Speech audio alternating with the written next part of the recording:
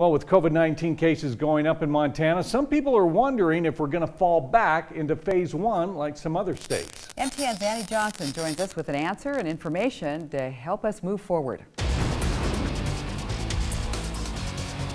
It seems like every day you get that notification on your phone confirming more positive cases of the coronavirus. But with more cases may come more solutions. The whole point of this is to find people who are infected, get them isolated, find their close contacts, get them under quarantine, and limit and limit disease spread that way. You've probably heard the term wastewater testing, and here's how it helps us moving forward. Well, it just informs your decision making. It's extra information that helps officials make the best choices for their residents. We're also seeing significant detection in the wastewater.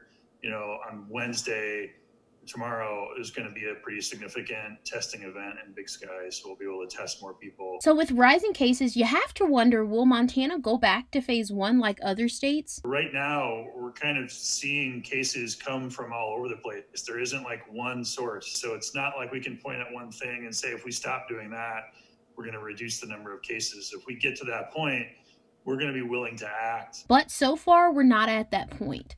Kelley goes a step further to explain some of the things leading to the increase of cases. Our relatively low number of cases over the last few months has made a, has made Montana an even more um, sort of um, tempting place to come visit.